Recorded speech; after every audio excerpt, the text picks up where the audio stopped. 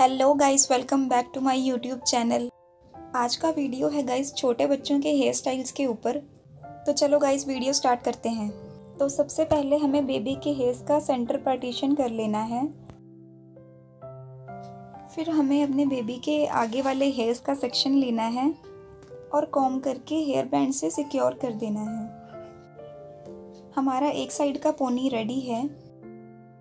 यहाँ आप एक बात का ध्यान रखें कि रबर बैंड ज़्यादा टाइट ना हो, क्योंकि फिर बेबी को हेयर्स पे पेन हो सकता है। अब हमें ऐसी ही सेम पोनी दूसरी साइड भी रेडी कर लेनी है। तो गाइस ये है हमारे बेबी का फाइनल लुक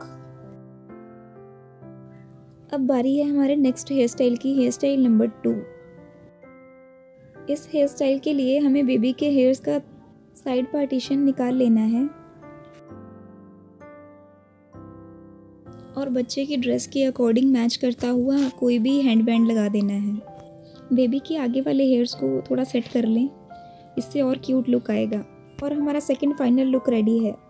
अब तक जिसने गाइस चैनल सब्सक्राइब नहीं किया है please subscribe my channel start करते हैं हमारा थर्ड हेयर स्टाइल इस हेयर स्टाइल के लिए हमें अपने बेबी के हेयर्स का साइड पार्टीशन निकाल लेना है।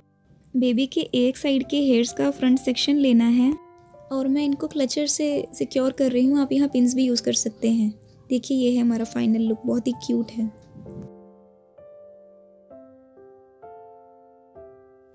गाइस ये आज के वीडियो का लास्ट हेयर स्टाइल है, चलो ट्राई करते हैं।